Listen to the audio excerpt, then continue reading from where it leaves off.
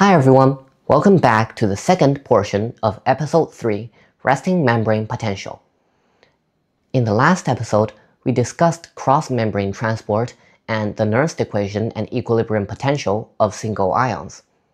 In this episode, we are first going to look at the values of the concentration gradients of some ions, and then turn to the multi-ion case for the Nernst equation, namely the Goldman-Hodgkin-Katz equation.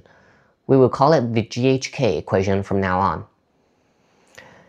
Finally, we will be able to calculate the resting membrane potential. And finally, see how can we change the membrane potential experimentally.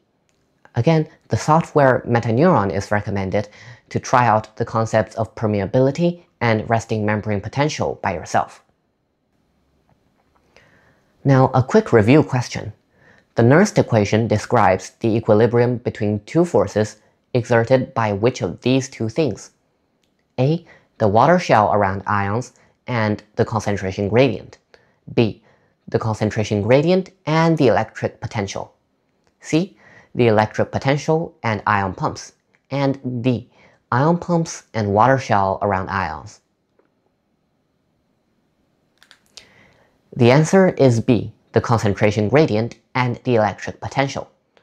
On the left side of the Nernst equation, we have the equilibrium potential of the ion, which is what the electrical potential gave us.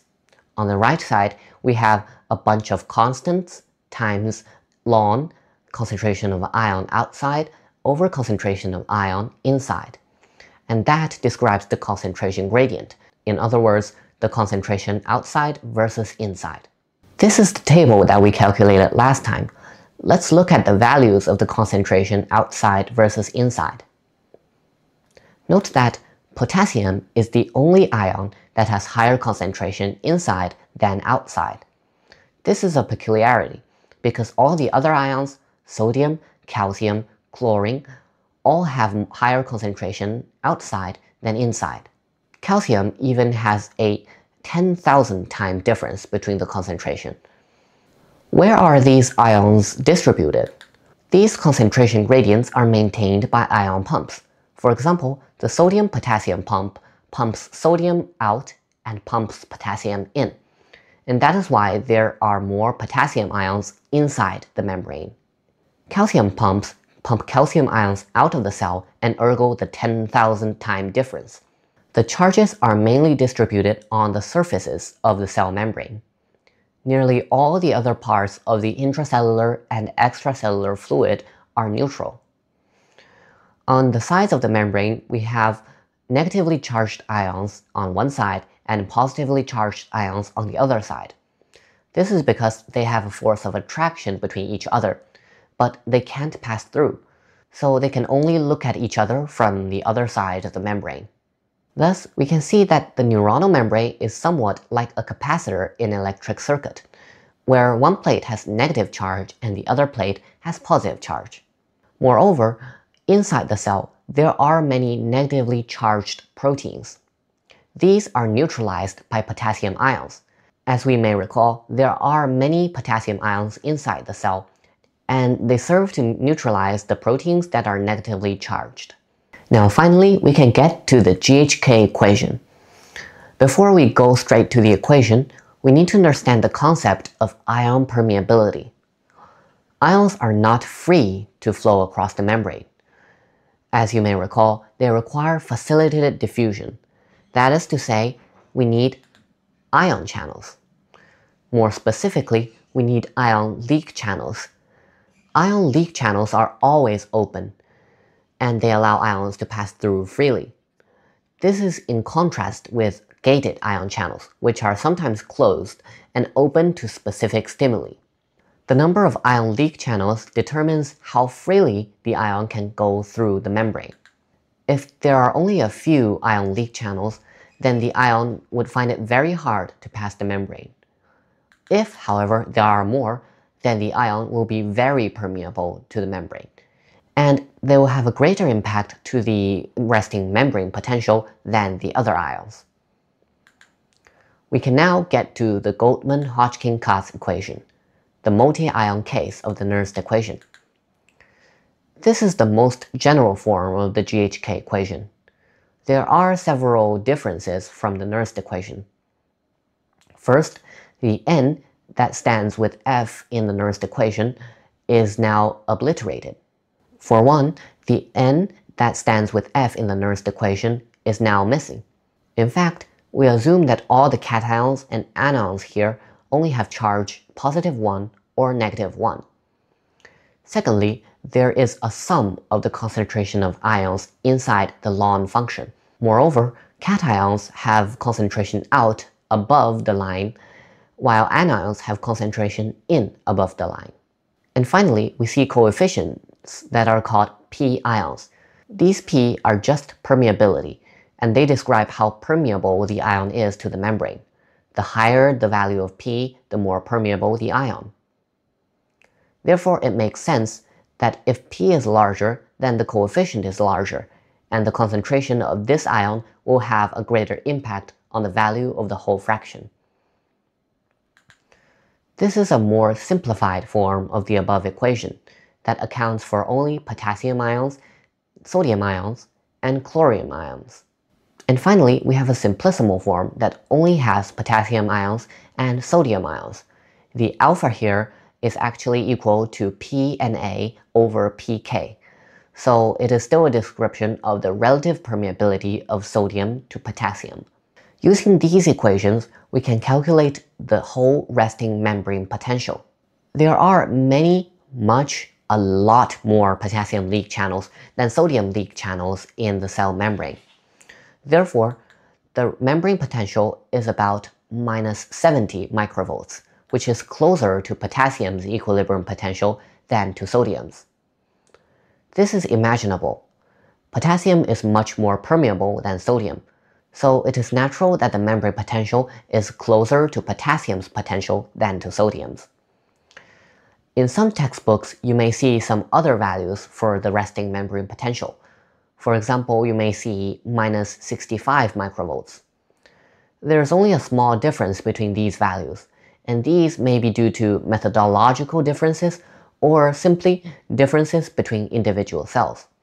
So any value that is close to minus 70 microvolts is acceptable. It is recommended that you remember minus 70 microvolts.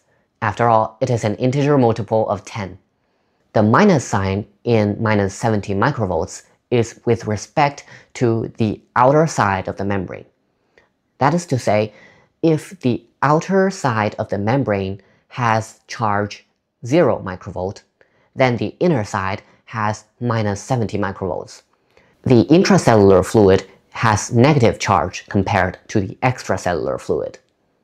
Since the resting membrane potential is very susceptible to the changes in extracellular potassium, we need to protect neurons from excessive extracellular potassium. This is accomplished through the blood-brain barrier. As you may recall from the episode of Neuron and Glia, the blood-brain barrier is formed by astrocytes. It is a barrier that surrounds the blood vessels in the brain and prevents harmful substances from entering the brain from the blood. The blood-brain barrier actually prevents excessive extracellular potassium that exists in the blood from entering the brain, thus protecting neurons. Astrocytes also carry out their function individually. They can absorb excessive potassium ions from one location, transport it all across its own cell body, and then distribute it to other places where there is lower concentration of potassium ions.